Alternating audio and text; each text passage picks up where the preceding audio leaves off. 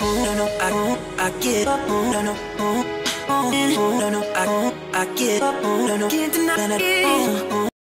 une grâce de servir Dieu. Regarde quelqu'un dit c'est une grâce de servir Dieu. Je ne sais pas peut-être que les autres, mais c'est une grâce. Amen. C'est une grâce. Comme vous voyez, c'est une grâce même d'être en vie, d'être debout. hein. C'est une grâce. Regarde quelqu'un qui dit, est-ce que tu sais réaliser que c'est une grâce? C'est une grâce, hein, peut-être. Peut-être toi, tu peux jouer avec ta, ta vie, tu peux croire que c'est. C'est une grâce. hein. C'est une grâce même de voir un nouveau moi. Qu'est-ce qui, qu'est-ce qui devait être obligatoire que tu voyes ce moi? Jacques dit Tu vas prévoir, je vais voyager, je vais faire ceci, je vais faire cela. Il dit insensé. Il faut d'abord dire par la grâce de Dieu. Amen. L'être humain calcule, je vais faire ceci en août, je vais faire ça en septembre, je vais faire ceci en octobre. C'est toi. Là, ton voisin, ça, c'est toi. Il ne faut pas recommander ça à Dieu. Il ne faut pas mettre ça entre les mains de Dieu. Amen.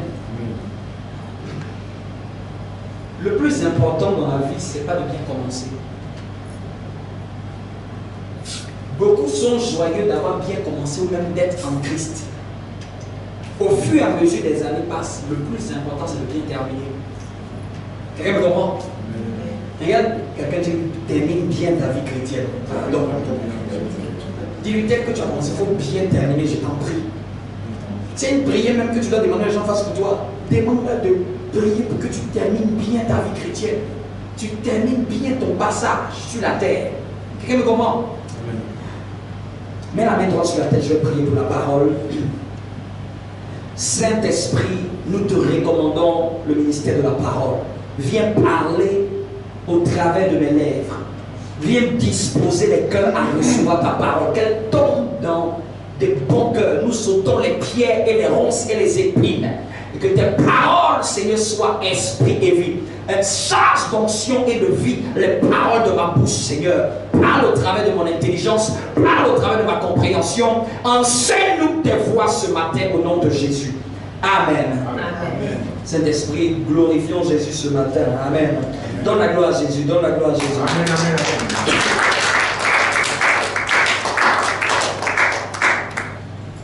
On, est, on va aller un peu plus en profondeur dans une autre série qui est, que j'intitule Comment euh, approfondir sa communion avec le Saint-Esprit. Amen.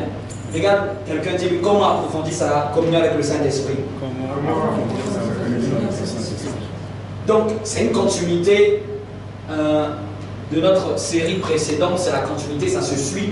Amen. Comme tu regardes un film, tu regardes la saison 1 et souvent la saison 2 est la continuité avec d'autres un, un- un épisodes. Amen. On va voir les épisodes durant un, un- ces dimanches. Amen. Sur comment approfondir. Regarde quelqu'un dit oui, comment approfondir ma communion avec le Saint-Esprit. Non, on avait dit dans la série précédente, dans le thème précédent, que la communion avec le Saint-Esprit est non négociable pour une vie chrétienne de victoire. Qu'on pouvait être tous chrétiens, mais on pouvait ne pas forcément vivre des exploits. Amen. Donc aujourd'hui, il y a beaucoup de gens qui sont chrétiens. C'est bien d'être chrétien, mais c'est encore mieux d'être chrétien et de développer une communion avec le Saint-Esprit. Celui qui fait vivre la vie chrétienne. Vous me comprenez? Celui qui est l'auteur de manifester la vie chrétienne, de la faire vivre. Amen. Et je vous disais que beaucoup de chrétiens, quand ils sont convertis, veulent s'approprier les paroles de la Bible directement. Ils prêchent, ils déclarent la parole. Oui, les promesses de la Bible, on estime à 4000 ou à 5000 promesses dans la Bible. Les théologiens estiment, Amen, d'après ce que j'ai pu euh, euh, entendre, entre 4000 et 5000 promesses. Mais de ces 4000 et 5000 promesses, elles sont potentiellement les nôtres potentiellement les nôtres. Dis potentiellement les nôtres. C'est-à-dire que c'est prédisposé pour toi. Je vais donner un exemple. Un exemple qui peut être clair. Quelqu'un peut naître et être, euh, avoir un, un- un- un héritage en compte bancaire. Mais parce- ce n'est pas parce qu'il est né qu'il va toucher cet héritage automatiquement. Il peut avoir 5 ans, mais quand il va aller à la banque, c'est quelqu'un qui va gérer cet argent pour lui. Vous me comprenez? Donc beaucoup de chrétiens sont comme des enfants nés dans la maison de Dieu, mais avec un héritage. L'héritage de toutes les promesses de Dieu. Quelqu'un me comprend? Mais la plupart de beaucoup de chrétiens veulent rester enfants pour jouir de l'héritage. Dis à ton voisin, c'est impossible. C'est impossible. La Bible même le dit dans le livre de Galates. Aussi longtemps que l'enfant reste un enfant, il ne diffère en rien d'un esclave. Ça fait que c'est grave. C'est-à-dire qu'un enfant de Dieu, s'il ne fait pas attention, sa vie va ressembler à celui de l'esclave. Parce que la Bible dit aussi longtemps que l'héritier reste au stade d'enfant. Amen. On avait vu pour ceux qui, qui étaient à l'école niveau 2 que dans la croissance en Christ, il y a le premier qui est le népios, qui est l'enfant. Vous me comprenez? N'est-ce pas? Amen. donc il dit aussi longtemps qu'un héritier, c'est un héritier. Tu es héritier de Dieu. C'est la bonne nouvelle du royaume. Héritier de Christ, c'est la bonne nouvelle du royaume. C'est un bon message. Mais il ne faut pas se suffire à se contenter seulement de dire que je suis héritier de Dieu. Et puis tu commences toujours en train de dire je suis héritier de Dieu. Ça c'est le début. Au début, il faut prendre conscience de qui tu es et qu'est-ce que tu as. Tu me comprends Il y a certains parmi vous à ce niveau-là. Vous devez d'abord prendre conscience de qu'est-ce que vous êtes en Christ et qu'est-ce que vous avez en Christ. Amen. Je suis en train de le préparer. Par la grâce de Dieu, peut-être d'ici fin août, on va sortir au moins 140 versets qui vont aider les gens de l'Église à pouvoir connaître les versets qui définissent qui ils sont et qu'est-ce qu'ils ont en Christ. Quelqu'un me comprend. Et tu dois les connaître par cœur. Vous me comprenez? Ça doit habiter. La Bible dit que la parole de Dieu habite dans vos cœurs. C'est le, c'est le lait spirituel. La Bible dit que désirez comme des enfants nouveau-nés, le lait spirituel le pur qui est la parole de Dieu. Non, un enfant doit boire le lait. Et le lait dont la Bible parle, c'est le lait de la parole de Dieu. Ça doit habiter d'abord en lui, dans ses entrailles. Ça doit habiter dans son être. Quelqu'un me comprend? Amen. Ça doit habiter en lui. Il doit avoir la révélation de qui il est. La révélation de ce qu'il a en Christ. La révélation de qu'est-ce que Jésus a fait pour lui. La révélation de ce que Jésus a octroyé à la croix. Les promesses qui sont dans Christ. Il doit s'en être bien conscient. Amen. Mais quand cette première phase n'est pas maîtrisée, tu vas aller où? Regarde ton voisin, tu vas aller où? Tu vas aller où? La vie chrétienne, c'est étape après étape. C'est tout un chemin tracé par Dieu. C'est des phases. Il y a des étapes à respecter. On ne peut pas brûler les étapes. En Christ, il n'y a pas, on ne peut pas tricher. Tu ne peux pas sauter tout le primaire te retrouver au collège. Et dire non, mais pourquoi on ne veut pas m'accepter en sixième? Pourquoi tu vas te plaindre des, collègues, des, des du collège? On va, Tu vas te plaindre, tu vas te plaindre. Ils ne vont jamais t'accepter au collège. Vous me comprenez?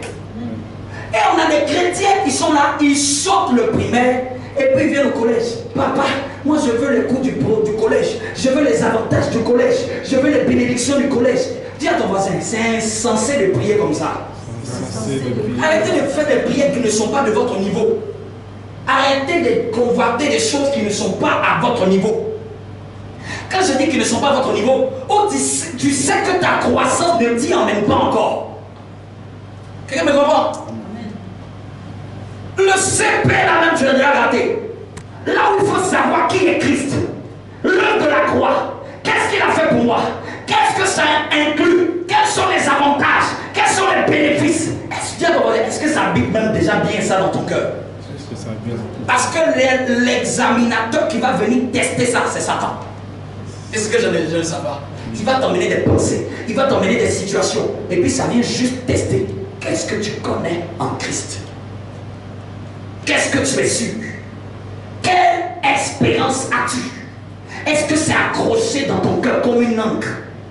Est-ce que c'est scellé cette information? Est-ce que c'est bien posé? Est-ce que ce fondement a été bien bâti? Le Saint-Esprit me met cette image. Il me dit, regarde, les chrétiens veulent bâtir leur vie.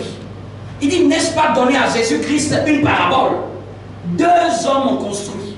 Un a construit sur le sable, un a construit sur un roc.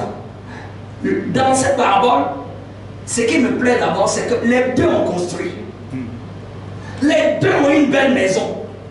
Les deux ont bâti leur vie, bâti leur foyer, bâti leur carrière professionnelle, bâti leur vie euh, d'affaires, leur business. Vous me comprenez? Les deux ont développé l'intelligence, développé la sagesse, multiplié leurs compétences, multiplié les chiffres d'affaires. Mais il y a un jour qui va révéler qui a bâti sur un bon fondement.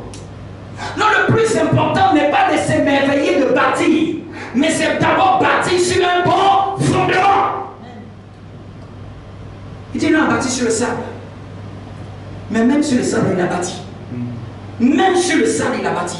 Non, le plus important, je me rends compte, ce n'est pas de bâtir d'abord. C'est de bâtir, se, se préoccuper, mais sur quoi je bâtis ma vie? Sur quel principe de l'évangile je bâtis ma vie? C'est pas le but seulement de dire je vais travailler, je vais avoir un salaire, je vais avoir. Et non, tu, tu veux travailler sur quelle base? Je veux avoir beaucoup d'argent pour l'œuvre de Dieu. Je veux avoir beaucoup d'argent pour quoi? Amen.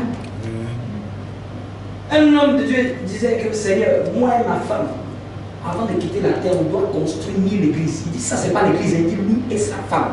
Leurs deux, leur argent doit partir. Je n'ai pas dit louer construis mille églises avant de quitter la terre. Tu vas faire une prière comme ça, puis Dieu va t'oublier. C'est que même Dieu, dans ses calculs d'église, dit hey, j'ai un enfant, lui veut bâtir, il veut avoir les finances pour bâtir mille églises. Lui, il n'en va jamais l'oublier. Tu vas voir l'argent pourquoi Tu vas voir l'argent. oh, l'argent pourquoi Seigneur, je veux je, et puis la plupart des chrétiens, je veux que tu me donnes beaucoup d'argent, je vais m'occuper des gens qui sont dans les besoins. À ton niveau déjà, tu ne peux pas t'occuper des gens qui sont dans les besoins. C'est quand il va te donner beaucoup, tu vas t'en occuper. Quelqu'un me comprend Avec ce que tu as le peu là, s'il ne voit pas que tu peux t'occuper d'un seul individu qui est dans le nécessaire, qui a besoin du nécessaire, tu ne peux pas prendre soin de lui périodiquement. C'est quand Dieu va te donner beaucoup, tu vas faire. Ah, arrêtons de mentir. Arrêtons de se blaguer. Quelqu'un me comprend Donc d'abord bâti sur bon fondement. C'est quand le vent et la tempête sont arrivés qu'on a vu qui avait bâti sur le bon fondement. Parce que le fondement ne se voit pas. Le fondement est la partie cachée d'une bâtisse. C'est le vent et la tempête. Regarde Rosa, c'est quand le vent et la tempête vont arriver, on va savoir comment tu vis. Ce n'est pas quand tout va bien, c'est quand il va avoir le vent et la tempête. Je vais savoir si tu mets en pratique les enseignements que je donne. Quelqu'un me comprend? Même un pasteur va savoir si le fidèle écoute ce qu'il enseigne quand le vent et la tempête arrivent. Déjà, vous vous me comprenez? Pas besoin même, c'est pas grave. L'ego sakaya. Amen. Vous me comprenez? Il dit c'est quand le vent et la tempête. Le vent, c'est les épreuves, les combats, les, les, les, les oppositions les, les, Goliaths qui se dressent devant toi. C'est qu'il y a des Goliaths qu'on voit le David qu'il était. Amen. Et je vous dis, dans la vie, tôt ou tard, il y aura des Goliaths. Mais les Goliaths viennent parce que Dieu se rassure que tu as déjà été préparé. Et si tu rates David ta préparation face à Goliath, tu échoues et tu restes toujours au même niveau, tu restes toujours au même stade, tu n'arrives pas à aller plus loin. La victoire de David chez Goliath lui a donné déjà un mariage, lui a donné une, une poste dans l'armée. Amen. Vous imaginez ça Quelqu'un qui était fidèle à s'occuper des moutons de son père. Quand il y avait un mousse et un lion, ces petites lance-pierres là, il prenait pour défendre les brebis. Son, son petit poste dans l'église il était à fond, il était enraché dessus, mais il ne savait pas que c'était en train de le préparer à la grandeur. Le petit temps de prière d'intercession, il était à fond, il ne savait pas que c'était en train de le préparer à devenir un homme de prière. Le temps de jeûne de l'église, il a pris ça à cœur. Il ne savait pas que c'était en train de, le, de, travailler en lui l'esprit du jeûne et de la prière. Il a pris à cœur les lever, les commander au matin, mais il ne savait pas que c'était en train de mettre en lui les principes de guerrier dans la prière. Ne négligez jamais les petites choses que vous faites en Dieu. C'est elle qui prédétermine si vous serez prêt au niveau supérieur il a dit à Saül, Il y a eu déjà des ours avec mes brebis. Je les ai tués. Il y a eu déjà des lions avec des brebis. Je les ai tués. Personne n'était là. Bien-aimé, ta victoire en public est la plupart du temps due à tes victoires en privé. Et dû à tes victoires en privé où personne ne t'a vu. Tu peux te permettre de prier pour un sujet qui va venir compliqué parce qu'en privé, tu as déjà développé l'esprit de la prière. Tu pourras faire face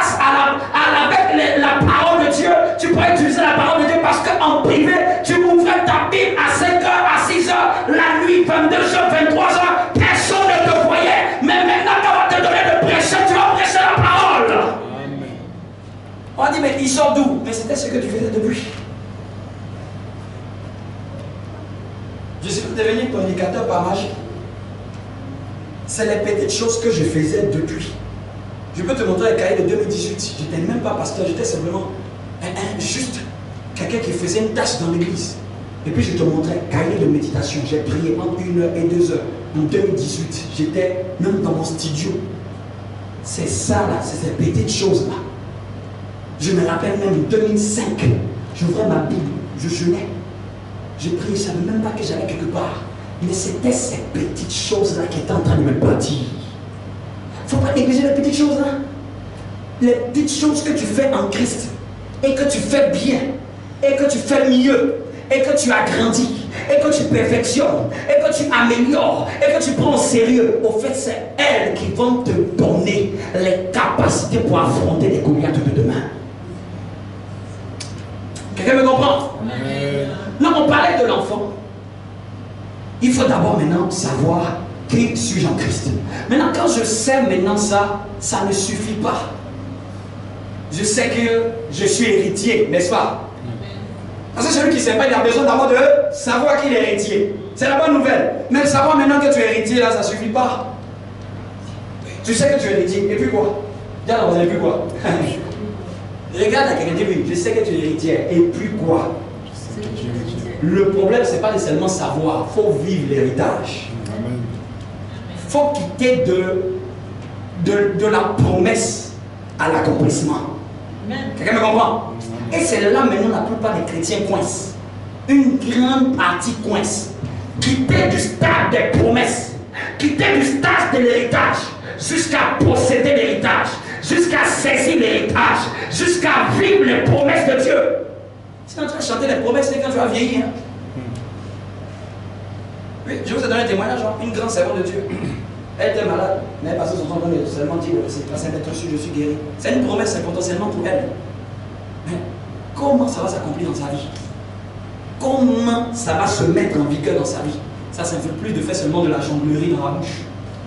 Parce qu'aujourd'hui, on a trop de chrétiens de bouche, de discours, qui parlent. Parce qu'on a dit qu'il faut parler. Celui qui donne vie à la parole, c'est le Saint-Esprit. Celui qui fait que la parole féconde, c'est le Saint-Esprit. Quelqu'un me comprend? Celui qui fait éclore les œufs de la parole, c'est le Saint-Esprit. Non, à ce deuxième niveau-là, au fait, tu n'as plus le choix. C'est soit tu deviens quelqu'un qui commune le Saint-Esprit, soit tu ne deviens pas. Sinon, tu vas frôler certaines promesses de loin. Vous me comprenez? Est-ce que vous comprenez mon raisonnement? Premier raisonnement, il faut d'abord prendre conscience de qui je suis et qu'est-ce que j'ai en Christ. Ça, c'est la base. Je vais te donner beaucoup de versets comme ça pour qu'au moins tu vas méditer dessus et ça va gonfler bien tes, tes- tes abdos spirituels. Vous me comprenez? Vous me comprenez? Amen. Et maintenant, c'est l'image. J'ai dit les gens qui font du culturisme, les bodybuilders, ils ont un concours. Mais tout l'entraînement qu'ils font en salle, là, c'est la préparation par rapport au concours. C'est comme un athlète. Non, tout ce que tu de faire, quand on dit médite, quand on dit faut, il y a certains versets, il faut asseoir dans ton cœur. Il ne faut pas penser que c'est la finalité. Hein. C'est pour te préparer à l'œuvre que le Saint-Esprit va faire. Parce qu'il a besoin de quelqu'un qui est rempli de la parole de Dieu pour travailler avec lui. Parce que le Saint-Esprit ne va pas apprendre les versets dans ta tête. Il ne va pas méditer à ta place. Mais il a besoin de quelqu'un qui est rempli de la parole de Dieu. Parce que l'Esprit de Dieu se meut là où la parole de Dieu abonde. Il y a quelqu'un, tu dois commencer à prendre ta Bible avec sérieux cette, année, cette saison. Il ne faut pas la prendre comme un livre de littérature. hein. Comme un livre pour lire les histoires pour faire exhortation. Il faut laisser la Bible pour exhorter. Il faut laisser la Bible pour prêcher. Il y a des moments là, quand je prends la Bible, Seigneur, tu vois là, c'est sur pour les livres. C'est pas pour une prédication de l'église. C'est pas pour un message. C'est pas pour jeter l'école. Ce n'est pas pour exhorter quelqu'un. C'est pour moi-même ma foi. Amen. Ma foi doit prendre ce verset-là. Ma foi doit saisir l'esprit de ce verset-là. Tu dois me dire comment on va vivre ce verset ensemble. J'ai aimé le- le- le- le- le- la détermination d'un homme de Dieu. Il dit, il a lu un livre. Et trois phrases m'ont marqué. Il dit, Seigneur, j'ai fait une veillée. J'ai lu les, les trois phrases du livre là toute la nuit. Pour te montrer que je veux ce que j'ai lu. Veillée de lecture. Il lit toutes les phrases. Il fait que lire. Il fait que lire. Pour montrer qu'il a tellement soif de vivre ça. Tu as soif à quel point? Regarde ton voisin, toi tu as soif à quel point? Tu as envie seulement. Je vous ai dit, dans la vie, là, avoir envie, tu vas échouer. Il faut sortir du stade d'envie. Il faut désirer. Il faut prendre. J'ai envie, j'ai envie, j'ai envie d'être béni. J'ai envie d'être élevé. J'ai envie de prospérer. J'ai envie de me marier. Il faut sortir de l'envie. Tu dis, je veux me marier. Je veux. C'est la volonté. Je prends. Vous me comprenez? Et puis tu payes le prix qu'il faut. Vous me comprenez? Non, deuxième stade, là on a besoin de la communion du Saint-Esprit. Vous me comprenez? Pour vivre l'héritage. Tu es conscient de l'héritage, mais maintenant il faut vivre l'héritage. Il faut vivre les promesses. Là maintenant, l'enfant de Dieu passe d'un stade de quitter dans les promesses et il entre dans l'alliance. Hmm. Tu peux vivre la vie chrétienne et jamais savoir ça. Il y a des gens, tu as l'impression d'être eux là, tout le ciel est avec eux. Ils font une petite chose, ça marche. Ils font même, ils font un petit truc, Dieu avec eux. Mais là, c'est toute la poisse du monde qui est derrière eux. Et puis tu pries. Bien aimé, ça ne te choque pas? C'est choquant. C'est choquant, hein Parce que dans le Seigneur, on est tous dans la maison de Dieu. On n'est pas au même niveau dans le temple. on n'est pas au même niveau dans le temple. Il y a des gens qui ont avancé plus pour aller en profondeur dans le temple.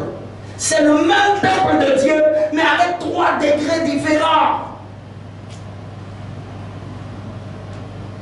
Trois approches différentes. Je peux venir chez toi, je suis dans la cour. Je peux venir chez toi, je suis au salon. Et je peux venir chez toi, je suis dans ta chambre personnelle. C'est pas la même chose. Et il y a des gens, ils viennent chez Dieu, ils sont dans la cour. Oh, on est chez Dieu, on est venu chez Dieu. Tu vas manger la nourriture de la cour. C'est dehors, on laisse les chiens et puis ils mangent dehors. C'est les invités pas très nobles qu'on laisse dehors. Je me rappelais mon père, quand il y avait un invité spécifique, il y a un salon qui l'ouvre. Ce salon, il n'ouvre jamais. Il n'ouvre pas. Il loue ça pour des invités d'une catégorie. Il y a des gens qui pouvaient venir à la maison.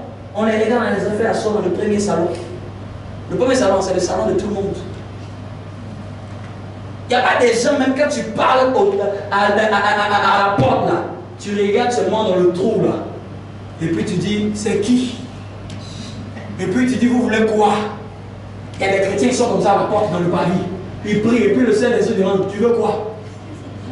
Hein? Tu veux quoi? Tu veux l'argent Et puis on dit à Gabriel, prends un peu un petit sac là. Ah, Donne-le là-bas. Ah. Et puis encore, il tape encore. Même Gabriel, les enfants demandent. Il regarde dans l'œil. Dès qu'on n'ouvre pas, on regarde dans l'œillet là. Et puis on demande C'est qui? Est-ce que tu es un individu qu'on ne connaît pas C'est qui? C'est moi ton fils. Hmm. C'est la voix de Jacob, mais c'est la main d'Esaü. Quelqu'un me comprend? Et puis souvent, on ouvre la porte là, on glisse une chose. Et puis souvent, il y a des gens qui glissent des choses au bas de la porte. Quand il y a quelqu'un qui prie là, leurs prières sont un peu comme un peu au bas de la porte. Il faut quitter ce genre de chrétienté là. Vous me comprenez? Quand tu es dans la cour du Seigneur, et puis tu te réjouis d'être dans la cour, l'essentiel on est dans la cour. Même dans la cour là, tu vas avoir des frustrations. C'est bien d'être dans la cour, mais c'est pas mieux de rester dans la cour. Vous me comprenez? Il y a des gens qui ne sont pas dans la cour, eux, ils ne sont pas sauvés. Quand on entre dans la cour, c'est le démarrage. Tout le monde passe par là. Avant même d'entrer dans le salon, on passe par la cour. Avant d'aller au salon, on passe par la cour. Donc le but de Dieu, c'est de faire passer par la cour, mais de ne pas y rester. Vous me comprenez? Mais le Saint-Esprit veut aller de l'avant, il y a le chrétien qui veut rester derrière. Non, c'était des invités d'une certaine catégorie. Et quand ils arrivaient là, il y a un autre salon qu'on ouvrait. Qu'est-ce qui faisait qu'un être humain, un être humain pouvait distinguer des gens de sorte à leur ouvrir un salon spécial Et ce jour-là, ce n'est plus la cuillère domestique. Il y avait une cuillère, il y avait des verres, il y avait des torchons. Ces torchons-là sont dans un tiroir. Ces verres-là sont dans un tiroir. Ça ne vous fait pas parler. Vous dites dans la maison, j'ai des vases viles et des vases d'honneur. Vase vide, moi j'ai pas envie d'être vase vide. Hein. C'est ce qu'on utilise comme ça. Il y a fait tout. Il n'y a pas fait tout, on t'utilise. Mais quand il y a fait, on te laisse. Mais cette tuile-là, hum, elle n'est pas digne de l'honneur d'aujourd'hui. Ce torchon, c'est le torchon de lundi soir où tout le monde est fatigué là.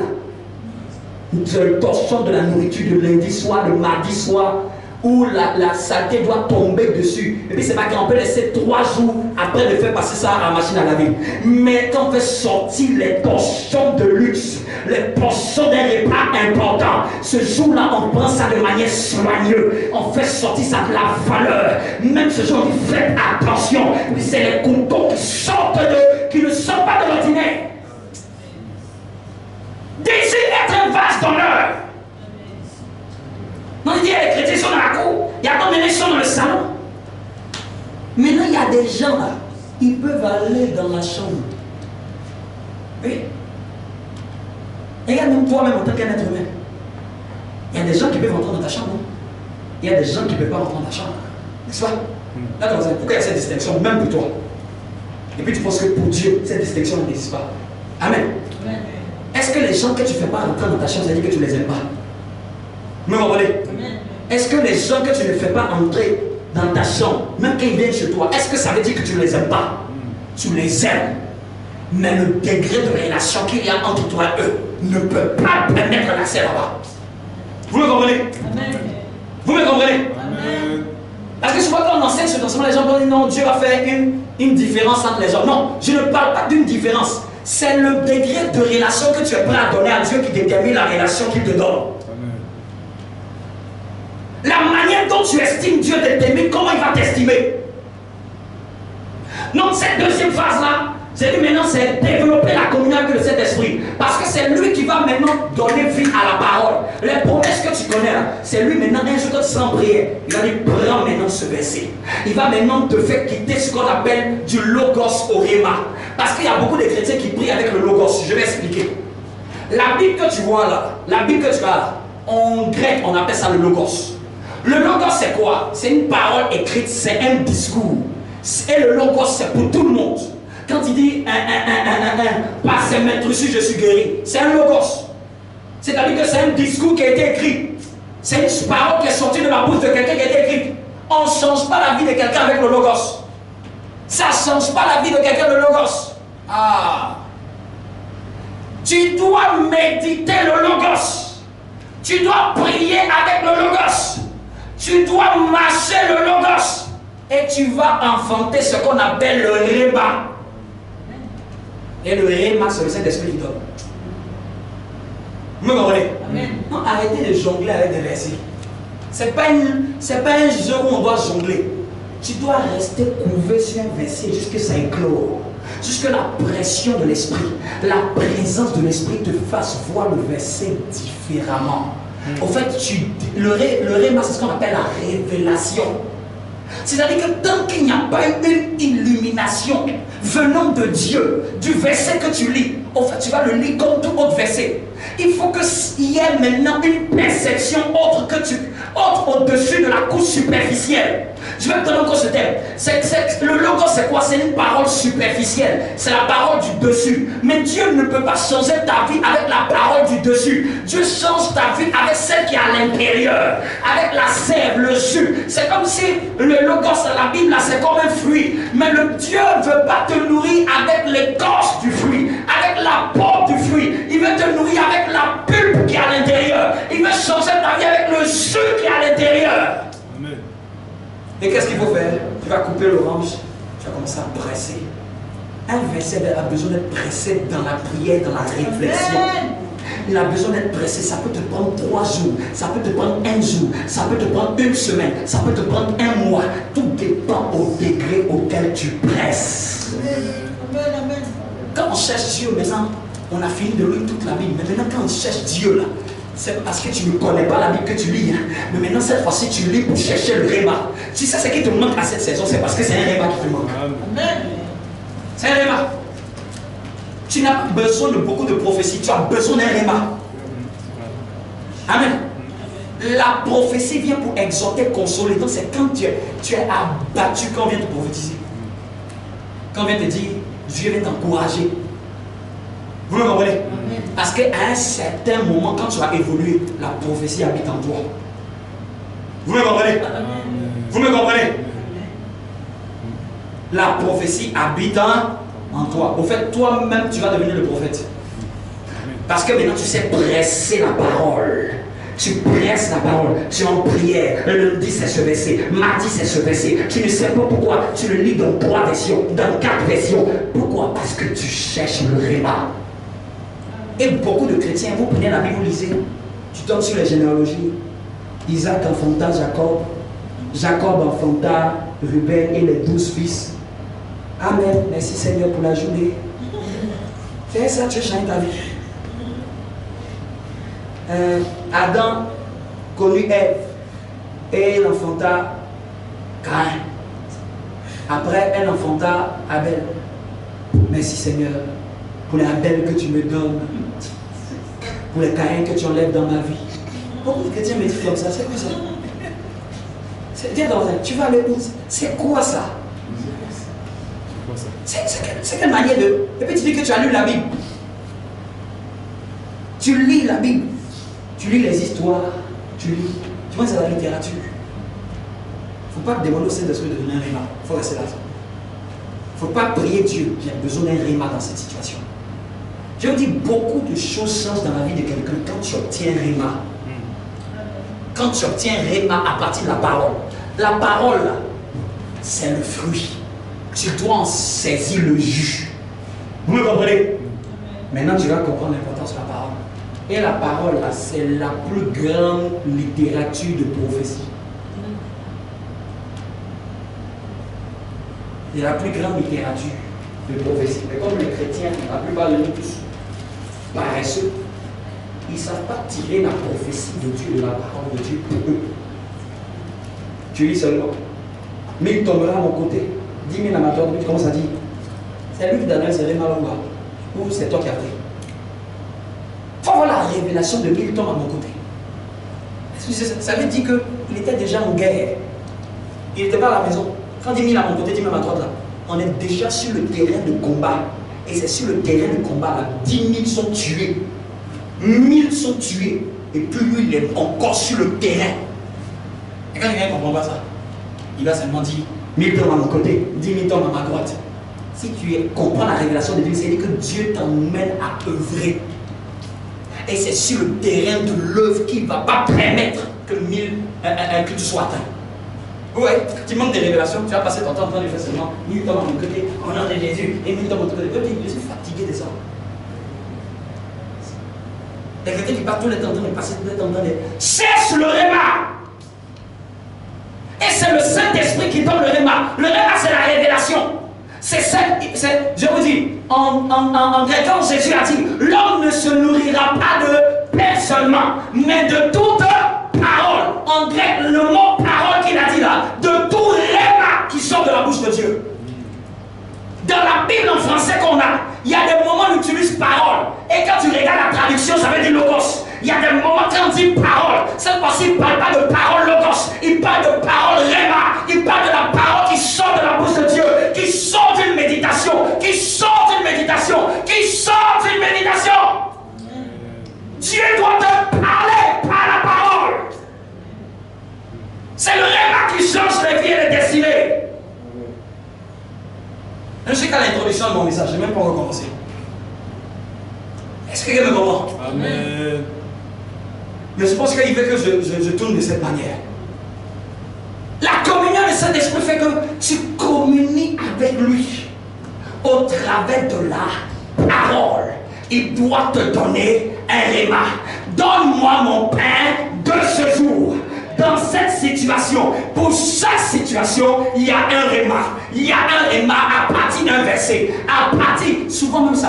parce que tu as écouté une prédication. Tu as tellement écouté, écouté, écouté, et puis c'est comme si, paf, tu as reçu quelque chose.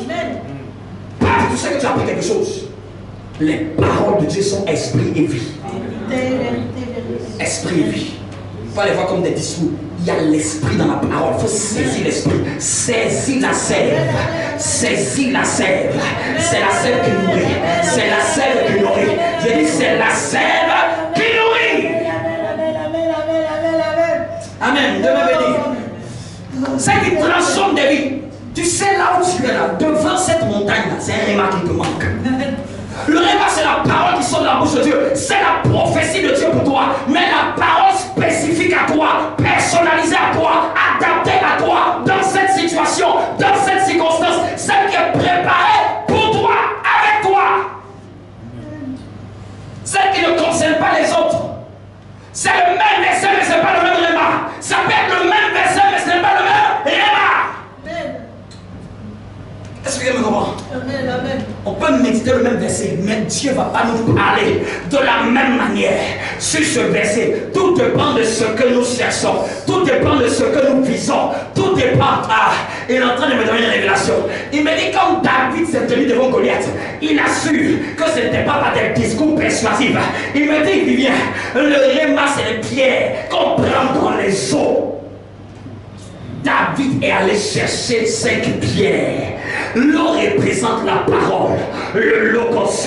Quand tu mets ta main dans la parole, ne ressens pas avec l'eau de la parole, ressens avec les pierres. Les pierres sont les fondements qui vont te permettre d'affronter ta destinée. Les pierres sont les révélations que Dieu veut te donner. Les pierres sont hautes, les révélations que Dieu veut te donner. C'est celle-là qui entre dans tes mains. Et ça te permet d'affronter ton Goliath. Tu sais, quand il y a un Goliath, cherche de l'eau. Quand il y a un Goliath, cherche de l'eau. Quand il y a un Goliath, cherche de l'eau. Mets autant la main à l'intérieur. Mets autant la main à l'intérieur. Fouille, fouille dans la parole. Fouille dans la parole. Quand tu vas prendre une pierre, tu vas savoir que ça n'a pas la même texture. Tu vas savoir, quand tu vas prendre le réma, tu vas savoir que non, c'est ici là c'est dur. Ici l'endroit, c'est une forme que je désire. C'est comme si ça me parle. C'est comme si ça me concerne. C'est comme si j'ai une illumination. C'est comme si j'ai une révélation. C'est comme si mes yeux s'ouvrent. C'est comme si je comprends différemment le verset. Quand tu prends ce réma, c'est ces pierres qui font tomber les Goliaths. Il n'a pas pris l'eau de l'esprit pour affronter Goliath. Il a pris les pierres dans l'eau de l'esprit. Donc ce chrétien qui n'a pas de communion avec le Saint-Esprit, au travers de la parole, de ce logos, comment tu vas enfanter le réma Amen. Non, maintenant on ne prend plus la Bible juste parce qu'il faut prendre. On a dit de méditer. Un pasteur a dit de méditer, tu ne sais même pas pourquoi tu médites. C'est quoi ça? Tu ne sais même pas pourquoi tu prends la Bible. On est tous passés par là. Même moi, avant, je prenais la Bible. Je prenais parce que mes anciens m'ont dit prends la Bible. Je lisais des trucs, mais à un moment maintenant, je ne lisais plus parce qu'il faut lire. Je lis parce que je cherche une parole, un réma, pas le discours des hommes, pas la partie superficielle, parce que tout le monde regarde, parce que tout le monde voit, parce que le logo, ça c'est accessible à tout le monde. Le réma demande du temps. Trouver le réma demande du temps. Demande à passer des jours avec ce verset. Demande à flirter ce verset. Demande à faire oh, un sort de mariage, d'avoir une relation avec ce verset. Et quand tu commences à avoir une relation avec ce verset, tu vas tomber enceinte de ce verset. Et quand tu vas tomber enceinte de ce verset, tu vas enfanter le réma. Tu vas enfanter le réma. Dis, dis seulement une parole et je serai guéri. Cette parole n'était pas un verset, c'est celle qui est sortie de la bouche de Jésus. C'est-à-dire que le réma, c'est ce que Dieu te dit dans ce que tu lis. Ah. C'est ce que Dieu te dit dans ce que tu lis. Je dis, c'est ce que Dieu te dit dans ce que tu lis. C'est quand la parole maintenant commence à te parler. C'est quand la parole commence maintenant à te parler. Ce n'est plus maintenant la parole pour stimuler ton intelligence, pour savoir que non, Jésus est passé à Capernaum. Oh non, Capernaum, c'était à 50 km de ceci. Je ne te parle pas de cette connaissance-là, la connaissance théologique, la connaissance géographique. Non, non, non, non, non. Je ne te parle pas de savoir que Capernaum en grec, ça veut dire ceci. Non, non, non, non, non. Dieu peut t'emmener là-bas, mais c'est pour t'emmener à découvrir ton réma. Il me dit, regarde, qu'est-ce qui a fait que tout le monde touchait Jésus? Et c'est une femme qui a été guérie parce qu'elle avait un réma. Si je puis seulement toucher. Toi, tu as quel réma Tu viens seulement. Jésus, Jésus, Jésus. Tu le touches, mais il n'y a rien qui sort de lui. Parce que tu le touches sans réma. Tu t'es venu ce dimanche, tu es venu avec quel réma Tu es venu avec quelle soif. Tu es venu avec quelle foi Est-ce que tu t'es dit en toi-même T'as-tu médité la semaine pour que tu te dises que ce dimanche-là, quelque chose doit se passer pour moi? Mais tu sais pourquoi? Qu'est-ce qui fait qu'il n'y a rien qui te dit que quelque chose va se passer pour toi? Parce que tu n'as pas médité la parole pour qu'il y ait un réma pour toi. Elle, là, depuis la maison, elle se disait, si je puis, si je l'attrape, si je le pousse, depuis la maison du Jéricho. C'est- il suffit pas que Jésus soit là et puis tu le touches. Jésus dit, qui m'a touché? Même Pierre dit, c'est insensé ta question. Tout le monde te presse, maître. Beaucoup de chrétiens pressent Jésus. Jésus, Jésus, Jésus, Jésus, appelle Jésus. Mais rien ne sort de Jésus. On touche Jésus avec le réma. On touche le Jésus avec le réma. On touche le Jésus avec le ainsi dit. Le ainsi dit qui vient de tes méditations. Le ainsi dit qui vient de tes fréquentations avec Dieu personnel. Le ainsi dit qui vient des témoignages. Vous savez, il y a une période quand je voulais booster ma foi. Je mettais des prédications de foi. Je bombarde mon esprit avec ça. Je bombarde, je bombarde. Ça me donne des, ça me donne des coups de poing. Ça me donne des coups de poing. Le pasteur prêche. Quand il prêche la foi, il donne les témoignages. Il dit yes, amen encore. Parce que je dois tomber enceinte de mon réma. C'est pas ta parole là qui va me donner la foi. C'est le réma de ta parole qui va me donner la foi. Non, j'écoute un jour, deux jours, trois jours. Ça fait cinq prédications, dix prédications, quinze prédications. Je veux tomber enceinte. Mais un jour, paf, quelque chose a changé. Ce que tu reçois, c'est ce que tu vas semer. Je voulais opérer dans une dimension de foi face à cette challenge. Mais j'ai écouté, saturé mon entendement, saturé mon entendement, saturé. Souvent, tu n'es pas patient pour le réma, tu es trop pressé. Tu es trop pressé. Souvent, même, tu peux m'avoir écouté, mais c'est après la quinzième fois que tu vas saisir le réma. Un d'un message que j'ai prêché. Si tu t'arrêtes seulement, Hum, j'ai écouté, il a parlé de ceci, c'était un bon message. Un bon message ne change pas quelqu'un. Je suis désolé de vous dire. Désolé de vous dire, avec toutes mes excuses, un bon message ne change pas quelqu'un. C'est le réma qui change quelqu'un. Non, c'était fort, c'était fort, ça ne change pas quelqu'un. C'est le réma dans ce qui était fort qui change quelqu'un. Non, c'était puissant, pasteur. faut dire c'était puissant. Ça arrive, tu vas rester là. faut pas avaler. N'avale pas. Et puis n'enfonce pas, tu vas voir. C'était fort, c'était puissant. Et puis tu as écouté une fois, deux fois, et puis après tu vas faire tes occupations. Tu sais pourquoi? Parce que tu ne sais pas comment les choses marchent. Tu ne sais pas comment ça marche. Deux fois, ça a changé ta vie en deux fois. Trois fois, ça a changé ta vie. Tu vas aller où? Où tu blagues? Tu blagues avec qui? Tu sais ce qui se trouve dehors. Tu sais ce que les occultistes font. Tu sais quel prix ils payent pour chercher les choses sataniques. Ils jeûnent pour chercher les choses sataniques. Toi, tu es prêt à payer quel prix? Deux fois seulement. Deux fois seulement un message. Et puis tu fais ça change ta vie. Deux fois. Trois fois même. Même quatre fois. J'estime que quelqu'un doit écouter un message sept fois, au moins, pour saisir l'esprit du message. Au moins. Un adulte, peut-être en trois fois, il a capté. Mais en ton âge, quand tu donnes à ma fille des os à un certain niveau, elle a du mal à manger ça. Ce n'est pas à cause de la parole, mais c'est à cause de la consistance de tes estomacs. Ton estomac spirituel a plus du mal à digérer certains messages. Donc souvent, tu dois mâcher beaucoup pour que tu vas prendre la vitamine de ce que tu as mangé. Il y a des aliments comme le, le maïs. Le maïs, quand on a fait la chimie, la structure moléculaire du maïs fait que les enzymes de l'estomac humain ne peuvent pas casser la structure du maïs moléculaire. C'est pour ça que tous ceux qui mangent du maïs, tu ne digères pas le maïs. Le maïs ne digère pas. L'estomac, sa chimie, là, quand il rencontre la chimie de la, du maïs, il ne peut pas casser ça. Ma chimie ne peut pas casser ça. C'est pour ça que le maïs ne se disait pas. Il y a plein d'aliments comme ça qui ne se digèrent pas. Vous comprenez? Et que tu veux manger, mange, et ainsi en est-il de certains messages. C'est configuré avec une, une chimie qui fait que ça demande du temps. Il y a des plats, par exemple, quand tu manges de la protéine animale, tu vas digérer ça plus longtemps qu'un yaourt ou un fruit. Amen. On disait sur la, la viande de porc en 5 heures et 6 heures de temps. On digère les fruits entre 1 heure et 2 heures. Toi, tu vas manger la viande que le pasteur t'a préparée. Et puis tu veux qu'aujourd'hui, là, tu vas digérer. Tu veux que ça te donne les vitamines là, et ça n'a qu'à te donner la force. Ça va dépendre du temps que tu es prêt à payer sur cette nourriture pour prendre le réma. Vous savez, quand on est grand, on ne suit plus maintenant un prédicateur à cause de ses thèmes. On suit un prédicateur à cause de son esprit. Parce que c'est l'esprit du prédicateur que je veux. Et dans tout ce qu'il prêche, ce même esprit s'y retrouve. Tu sais pourquoi tu, peux pas, tu as du mal à me ressembler Parce que tu ne suis pas à fond. Tu, veux être quelqu'un, tu vas commencer à prier à la même cadence que moi. Tu sais pourquoi Dieu, ça va pouvoir Pas parce que je t'ai imposé les mains, parce que tu as saisi l'esprit dans les messages.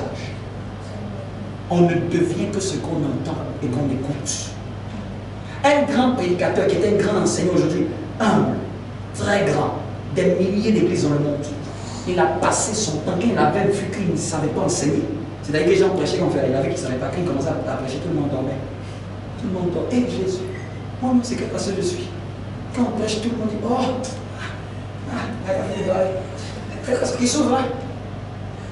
Les gens pensent que c'est des dons. Et il veut dire que tu appelles Dieu, mais tu n'as pas les dons. Il a dit Seigneur, hé, donne-moi la grâce d'enseigner. Dieu lui dit Tu vois tel homme de Dieu, il a la grâce d'enseigner, il faut le suivre. Il a dit, il dit, il a mangé les cassettes de ce homme. C'était au temps où il y avait les cassettes. Il l'a mangé. Il l'a mangé. Il est même s'est déplacé même là-bas. Il dit, je veux le voir. On dit, tu ne peux pas le voir. Il est resté dans l'auditorium là. La l'esprit d'enseignement là entrer en moi. C'est vous qui jouez.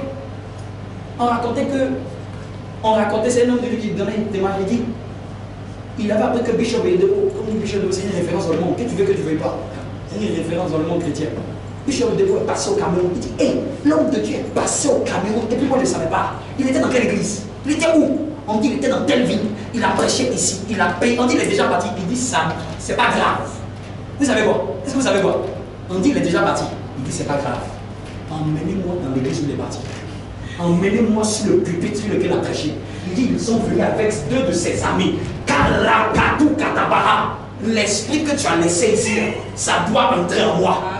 Il dit pendant 20 minutes, ils sont commencés à prier. Là où l'homme de Dieu, que son niveau t'étonne. Que tu te demandes, lui, là, quand il prie là, il voit dans les yeux de Dieu, mais Dieu et lui dit ensemble.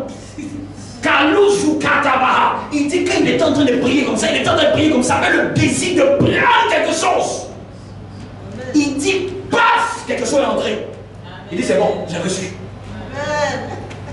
Je vous parle de la foi des hommes de Dieu parce que tu vois des gens aujourd'hui, ils sont forts parce que tous ont commencé au même niveau. Hein. Il y a des gens qui ont suivi des gens pour prendre des choses. Donc l'homme de Dieu racontait qu'il prenait la cassette, il écoutait les enseignements, il écoutait les enseignements, il écoutait les enseignements, il écoutait les enseignements. Vous me comprenez? Il écoutait, il écoutait. Et puis il dit une nuit, pendant qu'il dormait, pendant qu'il était endormi, et puis il écoutait, il écoutait, merci, il écoutait, et puis pendant qu'il écoutait, quelque chose est sorti. C'est lui qui a un témoignage. Il dit quelque chose est sorti de la cassette et est entré en lui. Il a commencé à parler en langue, parler en langue, parler en langue. Et puis il a commencé à prophétiser. Maintenant, can you teach? Now, maintenant, tu peux enseigner. Maintenant, tu peux enseigner. Aujourd'hui, c'est l'un des plus grands enseignants. Ça lui a pris de saisir l'esprit communier avec le Saint-Esprit? C'est même pas cette partie-là, mais Dieu m'a orienté de ce point-là. Communier avec le Saint-Esprit, c'est communier aussi avec lui au travers de la parole? Garde à l'esprit que l'esprit est toujours là où il y a les eaux de la parole. Si tu veux chercher l'esprit, là où il y a la parole, là, il bouge là-bas. Il bouge là-bas. Et il te parle à ce niveau-là faut écouter, faut méditer, faut chercher Dieu. Désir que Dieu, maintenant quand tu lis la Bible, donne-moi mon réma. Pour chaque situation, il y a un réma. Il y a un c'est une compréhension qui vient surnaturellement d'une méditation, d'une exploration de la Bible, qui vient après d'intenses études et de recherches, d'intenses écoutes et de, de réécoute de ce que je cherche et je convoite spirituellement parlant. Amen. Avant d'avoir quelque chose sur le plan physique, tu dois l'avoir d'abord sur le plan spirituel. Je le crois. La promotion d'un travail se prend d'abord spirituellement. L'élévation se prend d'abord spirituellement. Quel me moment Je donne le deuxième élément et puis ça va servir d'introduction pour le prochain dimanche. Matthieu chapitre 2. Dis avec moi, Saint-Esprit, donne-moi un vraiment cette saison. Ce qui est sûr dans un réma, quand tu l'as compris et que tu le mets en pratique, ça change. Vous me comprenez? Peut-être que je vous l'avais déjà donné? Au fait, un réma qui est mis en pratique, au fait, change ta vie. Dieu doit te visiter dans la parole. Tu peux te souvenir de. Est-ce que tu peux te souvenir de à quel instant, de quelle année Dieu t'a visité dans la parole? Où Dieu t'a donné une compréhension qui a fait de toi ce que tu es aujourd'hui. Est-ce que tu peux estimer les périodes? Que peut-être c'était en 2002 ou peut-être en 2012. Vous me comprenez Chaque destinée devient le fruit des repas qu'il a, qu'il a reçus. Mais le réma, ce n'est pas en groupe. Hein? Vous me comprenez Ce n'est pas en groupe. Le réma, c'est la révélation. On ne peut pas prendre le réma en groupe. Elle dit si je touche, les gens ont touché, c'est elle ce qui a reçu. Et la majeure partie des chrétiens, ils veulent prendre le réma en groupe. Vous me comprenez Peut-être que tu as ton réma à toi. Au fait, il faut être volontaire de les chercher. Tu ne peux, pas, peux pas conduire ta vie uniquement par en attendant qu'on te donne une prophétie pour conduire ta vie. Travail, tu vas avoir besoin de prophétie. Mariage, tu vas avoir besoin de prophétie. Un, comment on appelle ça? Santé, tu vas avoir besoin de prophétie. Et si ce jour-là, le prophète n'est pas là, tu vas faire tu vas quoi? Vous me comprenez? Le modèle de Dieu n'est pas calqué que les hommes de Dieu emmènent les chrétiens à dépendre d'eux. Le modèle de Dieu est fait en sorte que les hommes de Dieu élèvent les enfants de Dieu de sorte qu'ils dépendent de Dieu, duquel eux-mêmes dépendent. C'est-à-dire que si je ne t'enseigne pas ce qui fait ce que je suis, en fait, je ne t'aime pas. Le meilleur enseignement que je peux te donner, ce n'est pas de prier pour toi. C'est de te donner la matière qui fait de moi ce que je suis. C'est de te dire comment je cherche Dieu. Comment faire pour communier avec Dieu C'est de te dire, c'est les bonnes questions que vous devez poser au pasteur. Comment tu fais pour rencontrer Dieu? Comment Dieu te parle? Comment tu arrives à savoir? En fait, tu dois être curieux de vouloir aussi arriver au même niveau où je suis. Ce n'est pas réservé aux hommes de Dieu de connaître Dieu seul. C'est faux.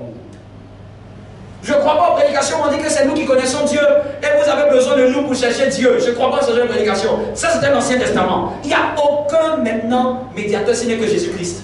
Amen. Pas de médiateur. Il n'y a pas de toi, il ne faut rien savoir. Non, ne prie pas, ma fille. Tu ne peux pas, j'ai rentre en jeune. Ne prie pas. Les chrétiens, ils aiment les pasteurs comme ça. T'inquiète pas, ne prie pas. Reste tranquille, j'entre en jeune. Je vais en retraite, donne-moi tes yeux de prière.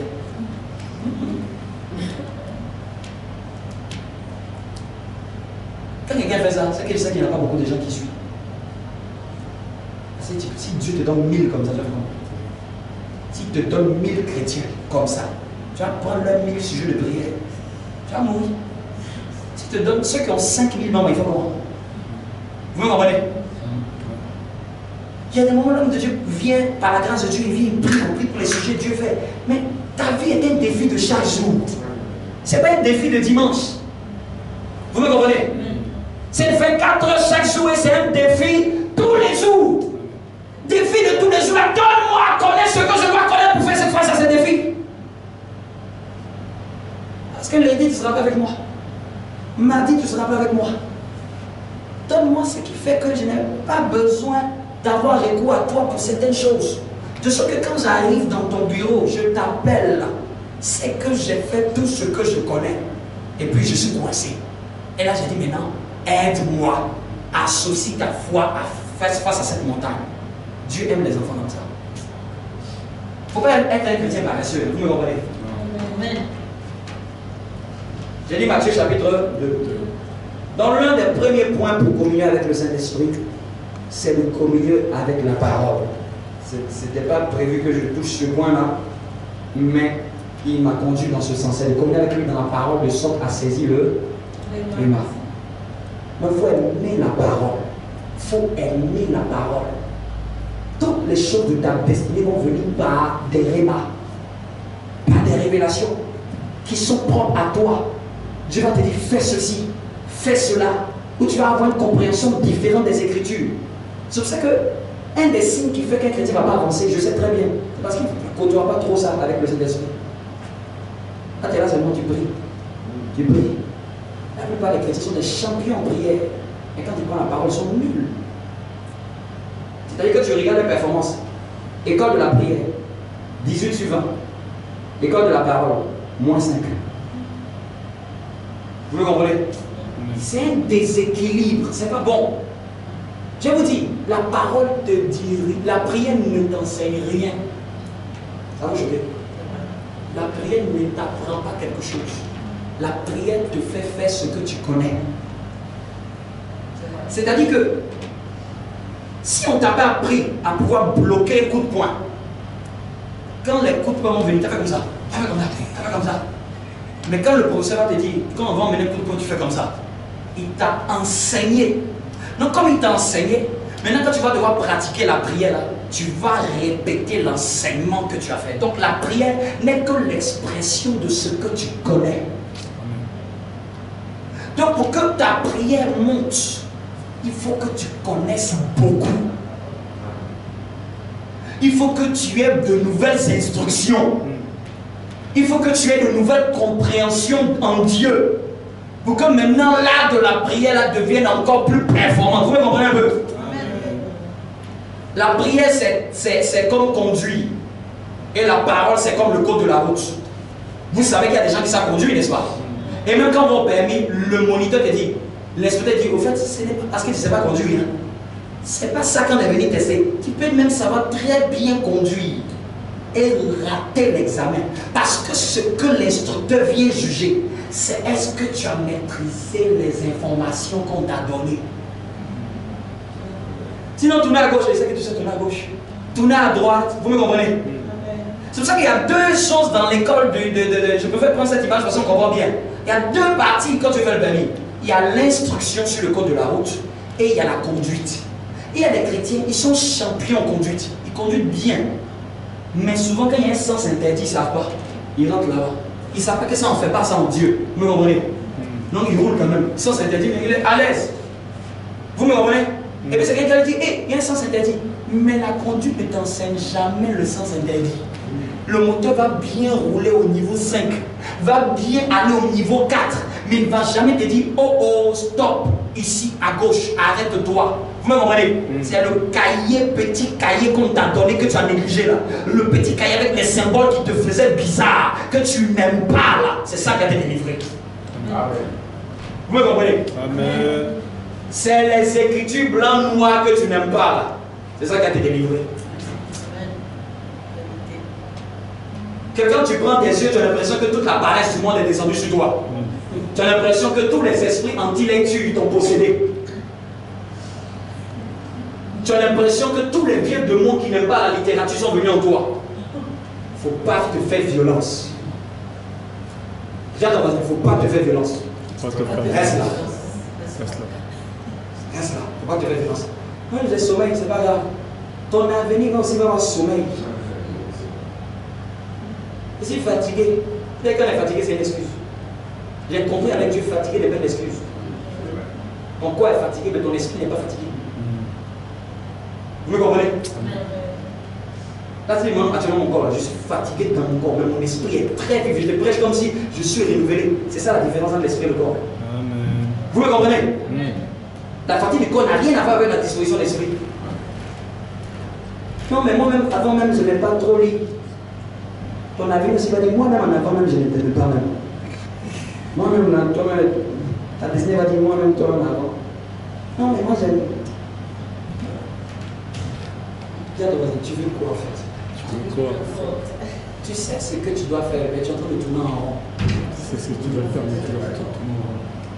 Souvent, ce n'est pas les grandes choses qui manquent, hein. c'est les choses qu'on connaît qu'on ne fait pas. C'est. Fais-toi violence.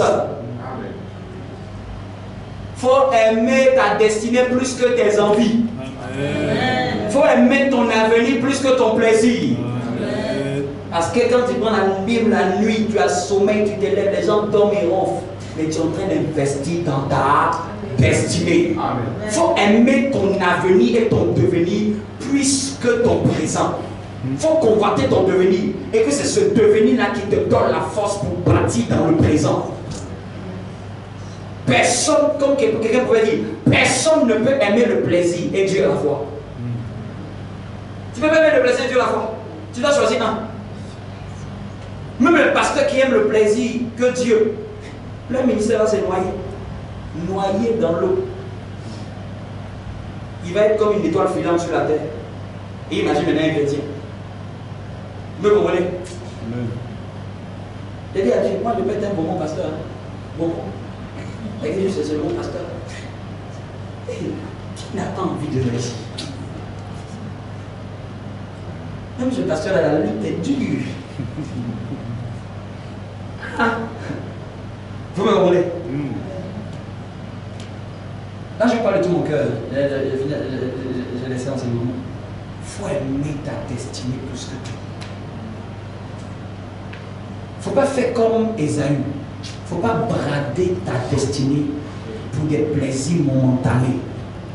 Il a désiré le plat de lentilles. Il s'en foutait du droit de naissance. Dis-toi qu'à chaque fois que tu laisses un plaisir t'empêcher de faire ce que tu dois faire de spirituel, tu es en train de manger le plat de lentilles, tu es en train de donner à de Jacob pour ton droit de naissance. Il y a des usurpateurs. Mm. Et il veut que tu leur donnes ta grande étoile. Dors, mon enfant. Tu es fatigué, ce sera l'année prochaine, tu vas te consacrer à Dieu. L'année prochaine, l'année prochaine, t'inquiète pas. Je sais, cette année, c'était un peu compliqué. Et il y a les 10 heures comme ça, il vient chanter dans tes oreilles. Tu sais, cette année, c'est un peu dur. Tu sais, avec ton travail, ta famille. Cherche, viens dans cherche des excuses seulement. Cherche des excuses. Cherche des excuses. La personne qui réussit, qui donne des excuses, ça n'existe pas. C'est pour ça que même quand je parle à excuses, je dis que personne n'aime les excuses de réussir. Arrête les excuses. On ne donne pas d'excuses quand on veut faire quelque chose. C'est soit tu dis je l'ai fait, c'est soit tu dis je l'ai pas fait. Mais il ne faut pas dire que c'est parce que. Quand tu dis c'est parce que, au fait, c'est que tu es en train de trouver un argument qui fait que tu n'as pas pu faire. Et tu es en train de dire que ce n'était pas ta priorité. C'est ça tu dis que je suis désolé, je n'ai pas pu faire.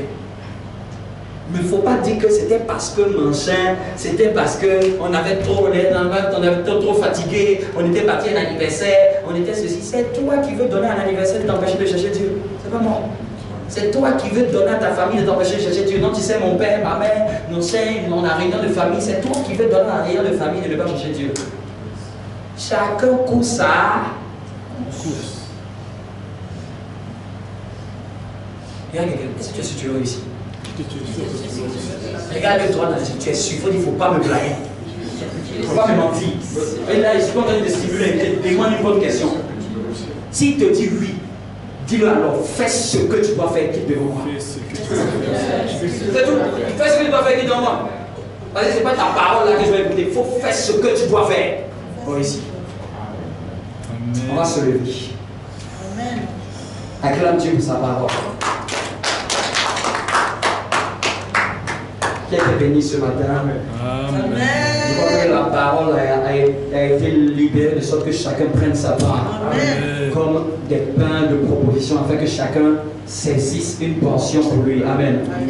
Il y a des choses que j'ai dit vite, mais souvent c'est en réécoutant, en réécoutant, tu vas bien saisir l'esprit dans lequel j'étais. Amen.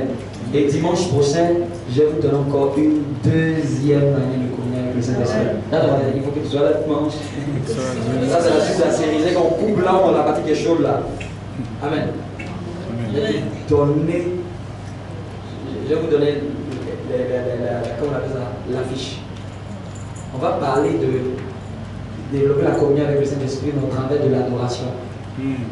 Mais je vais t'enseigner trois niveaux d'adoration qui ne sont pas faites par les chrétiens. Ou trois types d'adoration. Être bon. C'est-à-dire que adorer, c'est un mot vague. Je vais te dire qu'il y a trois manières d'adorer Dieu. Et les trois, tu dois les valider. Et même dans un encore, il y en a plein de choses à faire. Dans un seul, il y a plein de choses à faire. Quand j'ai commencé à comprendre ça, j'ai dit, waouh, quelle révélation. J'adore ça, Dieu, ça va les trois.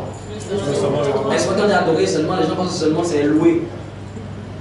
Je te dis, dis, dis dimanche prochain. Dimanche prochain. Dimanche prochain. Là, ça va les trois. En fait, même dimanche prochain, c'est peu. C'est que tout le temps du mois, ça, ça va les trois. Prie au Seigneur, demande au Saint-Esprit de te donner le désir de la parole pour recevoir ses instructions. Dieu instruit, le Saint-Esprit instruit. Demande au Saint-Esprit de donner l'amour de la parole. Aujourd'hui, il a mis l'accent dessus. L'amour de la parole. L'amour de la parole. L'amour de la parole. Même moi-même, je veux encore plus aimer la parole. Mais pour saisir le réma. La parole pour saisir le réma. La parole pour saisir le réma. Saint-Esprit, donne-nous d'aimer la parole. Balabala. Un instrument, les Zakariata. Prie, prie, demande-lui sincèrement de te donner l'en- l'envie, le désir de lire, d'aimer lire, d'aimer cesser les instructions au travers de la parole, d'aimer écouter la parole, de baigner dans cette atmosphère pour qu'il te donne les rémas attachés à ta destinée. Il y a des rémas pour toi ce mois d'août. Je suis sûr, il y a un réma pour toi. Il y a un réma pour toi. Il y a un réma pour toi. Mais tu dois aimer passer du temps avec le Seigneur au travers de la parole. Tu dois aimer passer du temps avec le Seigneur au travers de la parole. Tu dois élever le niveau, ton niveau dans la parole. Tu dois être aussi fort, aussi forte dans la parole. Tu dois désirer la parole. Tu dois te nourrir de cette parole. Tu dois mettre ta foi sur la parole. Tu dois prier la parole. Tu dois t'appuyer sur la parole. Tu dois marcher sur la parole. Tu dois désirer la parole. Il a une parole pour toi dans sa parole. Il a une parole pour toi dans sa parole. Il y a un réma pour toi. Tu dois aimer passer du temps. Tu dois aimer passer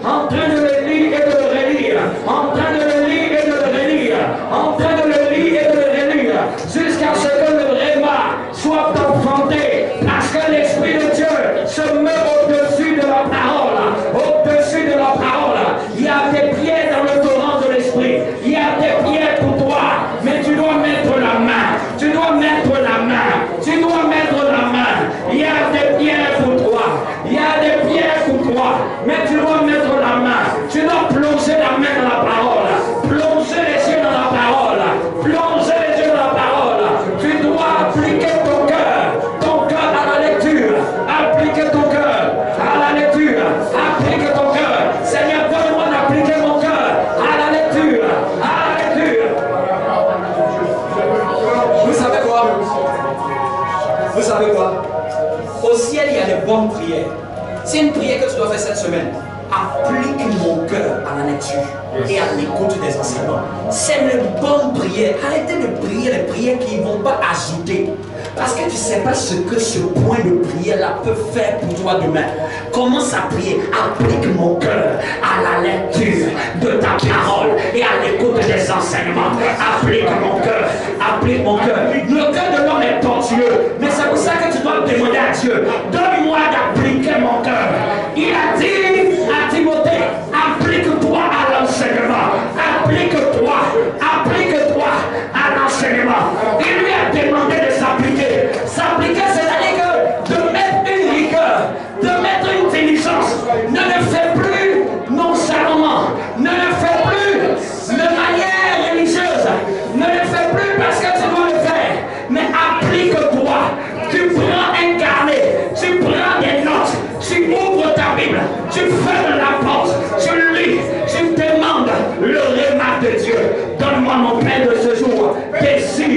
désir, applique mon cœur à la lecture, applique mon cœur à la parole, applique mon cœur à la méditation.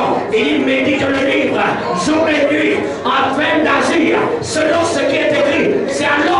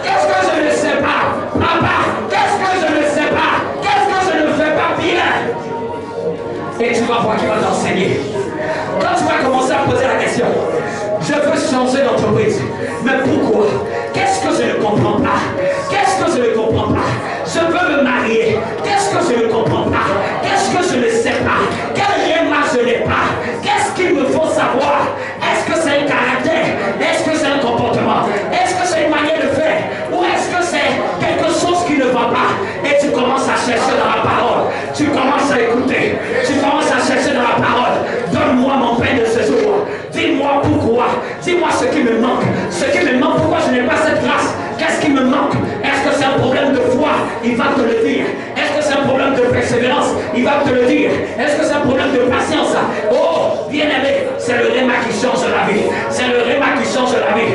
Applique mon cœur à la lecture et à la méditation. Applique mon cœur, applique mon cœur à la lecture et aux enseignements. Applique mon cœur. C'est le sujet de cette semaine. C'est le sujet de cette semaine. Cette semaine, nous devons prier. Même au matinal, avant de parler, nous allons prendre euh, de lundi à mercredi, nous allons prier encore pour ce sujet-là. Applique mon cœur à l'enseignement, à la méditation, à la lecture de la parole. Applique mon cœur, applique mon cœur. Donne-moi un cœur diligent, donne-moi un cœur diligent. Mais Père, même si je les ai déjà, donne-moi dans la profondeur, donne-moi dans la profondeur. Ouvre mes yeux, que je voie différemment le verset, que je le voie comme tu le vois, que je le vois comme tu le vois, pas comme je le vois. Ouvre mes yeux, ouvre mes yeux. Des écailles doivent des écailles doivent tomber. Il y a des gens qui lisent la Bible, mais il y a des écailles dans les yeux. Tu dois demander au Père de faire tomber les écailles de mes yeux. Je ne veux pas lire avec les yeux de mon, es- de mon intelligence. Je veux lire avec les yeux de mon esprit. Je veux voir comme Dieu aurait vu s'il avait lu ce verset. Je veux saisir l'esprit derrière le verset. Je veux saisir l'esprit derrière la lettre. Paul a dit, la lettre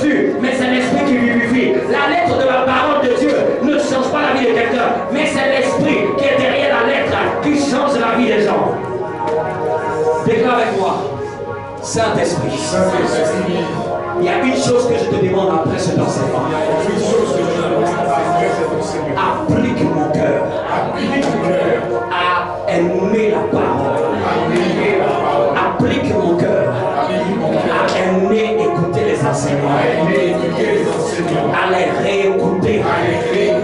Jusqu'à les saisir, jusqu'à ce que mon esprit en soit possédé. Applique mon cœur à la méditation, méditation profonde. Je veux le réma de ce que je vais méditer par toi. Parle-moi par ta parole à partir d'aujourd'hui. Donne-moi des instructions. Apprends-moi ce que je ne sais pas. Pour ma prochaine étape. Fais-moi travailler le domaine qui doit m'emmener à un autre niveau. Mais instruis-moi par ta parole. Instruis-moi par ta parole. Applique mon cœur à les méditations profondes, journalières, journalières. Aide-moi. À me discipliner, à me diligenter, à méditer, méditer de manière régulière, avec assiduité, avec assiduité, avec assiduité. Donne-moi d'aimer le goût de la lecture. Donne-moi d'aimer le goût de la lecture. Et apprends-moi l'art de la méditation. Apprends-moi à saisir le remarque de ce que je médite. Ouvre mon esprit à recevoir des instructions, des révélations, toutes seules, toutes seules, dans ma vie personnelle, pour ma famille, j'ai une instruction. Pour mon travail, j'ai une instruction. Pour mon mariage, j'ai une sagesse. Pour mes défis, j'ai une parole pour moi. Donne-moi mon pain de ce jour. Applique mon cœur à la méditation. Applique mon cœur. À la méditation. Donne-moi le désir d'aimer lire, d'aimer apprendre. Donne-moi de recevoir la parole. Avec douceur. Et de porter le fruit de cette parole. Je veux à partir de cette saison être un expert, experte dans la parole. Un champion, une championne dans la parole. Je veux augmenter ma moyenne dans la parole. Je veux augmenter ma note dans la parole. Je veux que quand tu me pèses, je veux peser aussi dans la parole. Je veux peser aussi dans la parole. Pas la parole superficielle, mais le réma qui change des destinées. Pour cette saison, pour ces mois qui, arrivent, C'est moi qui arrive. donne-moi mon réma. au travers de ta parole. Je veux saisir les pierres en plongeant ma main dans ta parole. Apprends-moi à être patient. même quand je lirai ta parole. À être patient. Apprends-moi à persévérer jusqu'à ce que tu me parles par ce verset. Apprends-moi à être patient et persévérant jusqu'à ce que je saisisse le Jésus. Au nom de Jésus. Amen.